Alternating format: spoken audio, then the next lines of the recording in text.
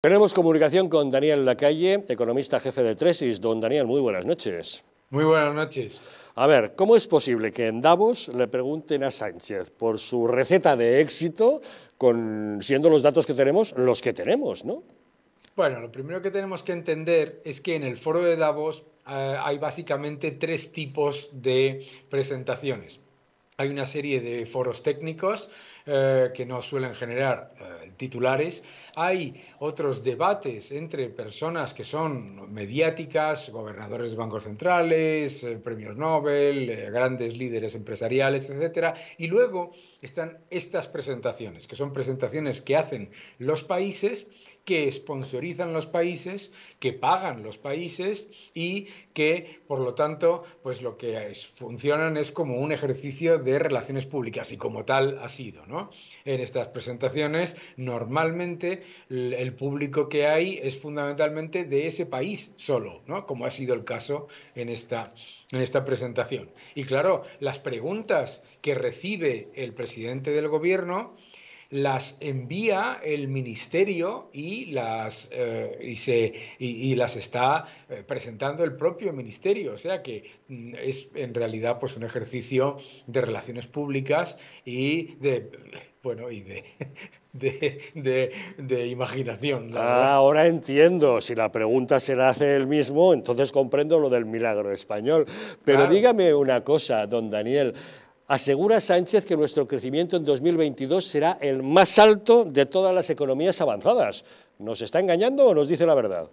Es que lo de Sánchez, hablando de crecimiento, después de caer un 10,8% en el año 2020, eh, Sánchez confunde rebotar con crecer. Claro, crecer es lo que hizo Irlanda, que creció un 5% en el año 2020, un 15% en el año 2021 y que continúa creciendo y por lo tanto la senda de mejora del Producto Interior Bruto es incuestionable. Rebotar es lo que está haciendo España, que será la última economía de nuestro entorno en recuperar el Producto Interior Bruto del año 2019. La última de todo nuestro entorno. Pero ojo, es que es la última después de ser la que más ha consumido estímulo fiscal y estímulo monetario. Es decir, el gobierno genera la peor recuperación con mayor paro y a la vez utilizando más apoyo de Europa y más apoyo del Banco Central Europeo que nadie. Y encima está dando una cifra que, claro, eh, ha tenido que revisar ya dos veces y ya veremos si no la tiene que revisar a la baja de nuevo. Es un ejercicio de puro de propaganda, claro. Respecto a eso de presentar a España como la solución para la regasificación de Europa, debemos decir que eso podría ser cierto si no fuera porque Sánchez fue el que paralizó la construcción del MidCat, ese gasoducto entre Barcelona y Barbaira de 1.250 kilómetros de longitud, con capacidad para transportar 7.500 millones de metros cúbicos de gas natural en ambos sentidos. Un gasoducto que vendría a reforzar las dos conexiones ya existentes entre España y Francia, la de Irún hasta Viriatú y la de Larrau hacia Alcé, y que transportan 7.000 metros cúbicos.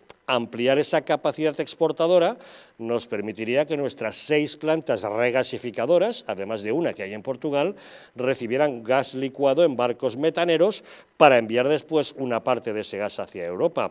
Eh, don Daniel, ¿no es ahora un poco paradójico que Sánchez apueste por esa conducción de gas hacia Europa cuando fue él quien paralizó ese MidCat?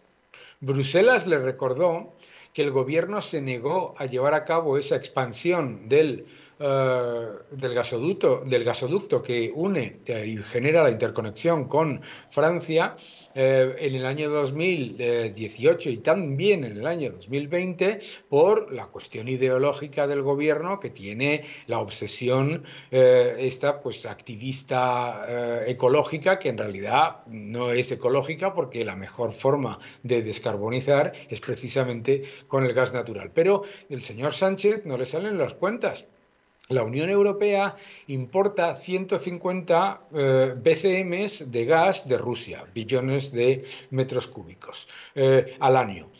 Las interconexiones, incluida, si se incluyese ese, ese gasoducto entre España y Francia no llegan a 15 BCM. Es decir, no suma, no hay ninguna manera en la que España sería, digamos, la salvación de Europa en cuanto a acceso a gas. Pero lo que es verdad, lo acabas de comentar tú, es que un país que debería estar ahora mismo revisando al alza las estimaciones de crecimiento y de recuperación porque no tenemos ni la exposición a Rusia ni la exposición al gas ruso que tienen otras economías de nuestro entorno, resulta que la revisa a la baja, porque eso que el gobierno llama constantemente la isla energética, en este caso particular, que es el del gas ruso y las dificultades que tienen otros países de la Unión Europea, es una enorme ventaja. Es tal ventaja que el propio gobierno lo está vendiendo en el exterior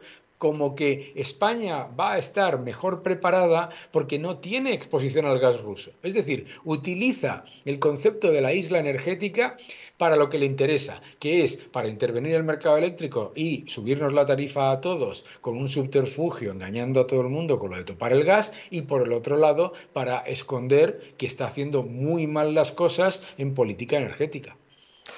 Pues así está la cosa. Don Daniel Lacalle, economista jefe de Tresis, gracias como siempre por acompañarnos en Los Intocables. Muy buenas noches, gracias. Muy buenas noches. Don Juan de Dios, ¿cómo lo ve usted?